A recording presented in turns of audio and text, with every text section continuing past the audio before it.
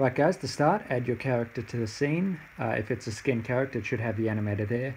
Just move to the side, attach a camera, and then it's going to run across the screen. So we're going to right click in the project window to create an animator controller.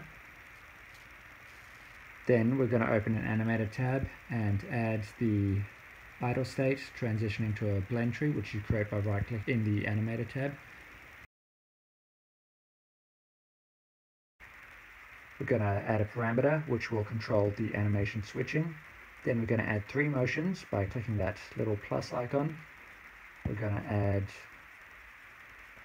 a walk anim, jog, and a sprint. So we'll add a transition.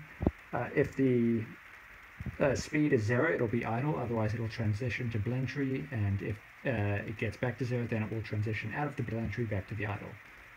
We're going to add the animator controller to the controller slot of the animator, then we're going to add a script called control.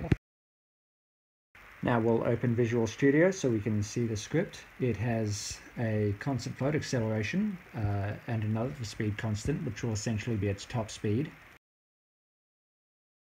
Then we'll have another uh, variable. This will be a float speed, which will change as we play. It'll be, if it's zero, then we won't move at all. If it's one, we'll be moving top speed. And if it's 0.5, we'll be moving at 50% speed and doing a light jog. Then we also have a public animator anim, which you'll assign from your character.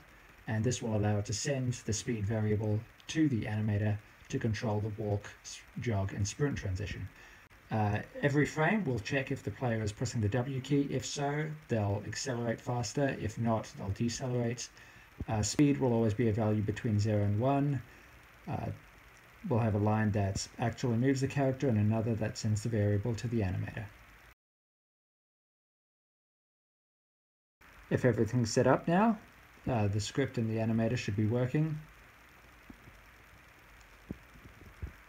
And we can see that the blend tree does its job.